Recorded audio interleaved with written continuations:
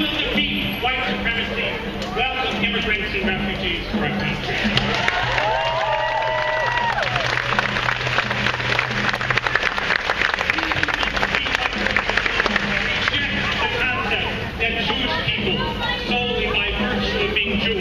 are less than human and are somehow the cause of our country.